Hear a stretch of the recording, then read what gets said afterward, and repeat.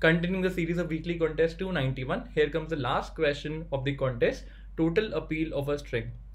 Here in this question, what do we need to do? We need to identify the total appeal of a, of all the substrings of a given string. And how do you identify an appeal of a string? It is equal to the number of distinct characters found in that string. For example, here there are three distinct characters A, B and C. Therefore, for this particular string, the appeal turns out to be 3 we need to identify the total appeal of all the possible substrings of a given string.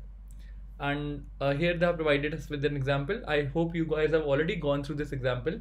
Without further ado, let's quickly walk through the presentation where I'll be walking you through various examples to and also tell you the algorithm to go about it.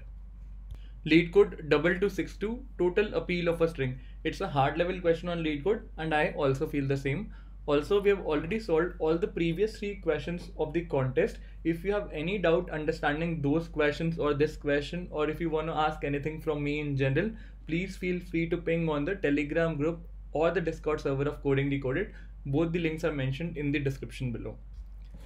Let's proceed ahead and let's take a slightly different example, a slightly easier one so that you get a good hold of the concept. We will be using dynamic programming technique to come up with the algorithm what I'm trying to do here is to identify the recurrence relation for our dynamic programming approach and I'll be using this example to derive that recurrence relation. The input string is A, B, C, D, B. So as you can see, uh, B is duplicated over here at the fourth index. So let's hypothetically assume we have we are trying to identify the appeal for all these strings that are contained up till this D and the value would be let's try and look at it the first substring would be a single D. There's only one element in it and the appeal for it would be 1. Then we let's combine CD together. What would be the appeal for the CD? It would be equal to 2. Then we have BCD. The appeal for this would be 3. Uh, the appeal for ABCD would be 4.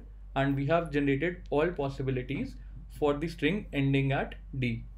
For D singular one, it is 1. For CD, it's 2. For BCD, it's 3. For ABCD, it's 4. That means we have successfully identified the function value for the third index. Now comes the question, can we utilize this value to compute the appeal for all the strings ending at this particular B? The answer is yes. How? Let's walk through it. Now we are interested in identifying the appeal for all the substrings ending at this particular B. So let's generate those substrings up. The first one would be this singular B. The next one would be B D, DB followed by CDB, then BCDB, then ABCDB. So here I have listed those up and let's try and calculate the appeal for each one of them. So this is pretty straightforward. It would be equal to 1. Then this one would be equal to 2 because there are two distinct numbers and I can represent this as 1 from here plus 1. So 1 plus 1 Let's proceed ahead. Next we see is CDB and the appeal for this one would be equal to 3 and I can represent this as 2 plus 1. So let's write 2 plus 1. Let's proceed ahead. Next we see is BCDB and here you see that B is getting duplicated which is an interesting case. So the appeal for this particular string would be equal to 3 plus 0 it by 0 because b is already present in my previous string so it will not contribute. So we can derive this 3 directly from here. Let's proceed ahead. So this is a duplication. Let's ignore it. Let's proceed ahead. Next we see is a b c d b and what would be the appeal for this one? It would be equal to 4 plus 0 why 0 because you can see that B is getting duplicated over here. So whatever appeal we can be derived for ABCD, we can directly utilize it for this particular case. Now comes the interesting case. How can we form the F4 value using F3 value? So let's try and do that. So if you carefully see, then these four values are directly coming from F3. So what we can write, we can directly write F of 4 happens to be equal to First thing is F3 plus there are a few more values and let's try to compute those up. So a new character is getting added. So directly it will contribute to 1 plus addition. So let's write 1 over here. Now comes the case how can we contribute for these 1 1 and 0 0 values it's really simple what do you need to add you need to identify where is b occurring previously in your string where is b occurring previously in your string it occurs at first index. So what is the number of elements that contribute to in between the current occurrence and the previous occurrence? What are those elements? There are two such elements. And exactly we will write this in the form of the equation. It's really simple. So uh, I'll go ahead and write the current index which I'm at which is happens to be 4 in this case. So let's write 4 minus the previous occurrence of b. What is that index? It is 1 minus 1 so this the equation becomes f of 3 plus 1 plus 4 minus the last occurrence of b minus 1 so this one and this one can get cancelled. What is left? It is left is f of 3 plus 4 minus the last occurrence of b so if I write this in mathematical format in terms of i what do I get I get f of i equals to f of i minus 1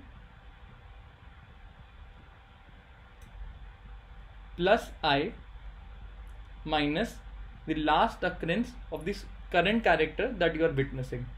So the last occurrence of last index of the current character.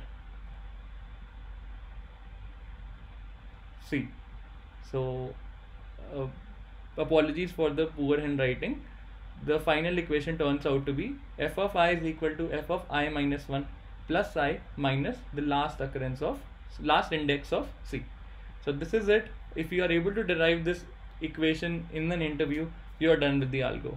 To conclude it further, let's quickly walk through the coding section and we will compute these f of i values starting from the zeroth index up till the fourth index, sum those up together and this will give us the final result. So let's go and check out the coding section. Here I have created the DP array of size n plus 1 where n signifies the length of the input string and plus 1 for uh, taking care of the corner cases. Then I go ahead and create the last index array and then initialize to 26 size because it contains lowercase English characters. Then I go ahead and fill in with minus 1 values by default.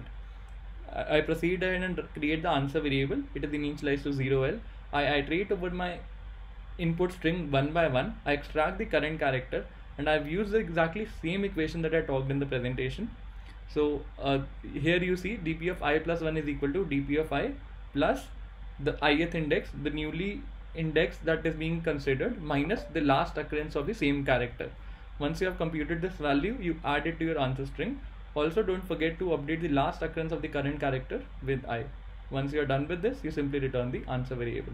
So let's try this up accepted the time complexity of this approach is of order of n because you are iterating through the input string only once and uh, yes you have space complexity too because you are using a dp array of size n with this let's conclude today's session i hope you enjoyed all the four questions that i just solved today my name is Sanchit Dudeja. I'm working as software developer 4 at Adobe and I genuinely hope you thoroughly enjoyed all the four solutions.